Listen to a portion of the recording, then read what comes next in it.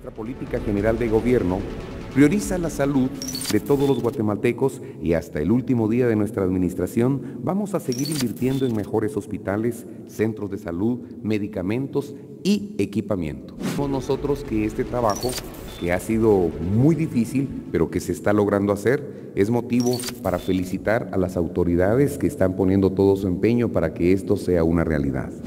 Trabajemos en equipo y vamos a salir adelante. Guatemala necesita de todos nosotros para salir adelante. A través de esta coordinación vamos a poder hacer realidad el desarrollo de apoyos mutuos en las labores ordinarias pero importantísimas, como la vigilancia en la calidad de los medicamentos.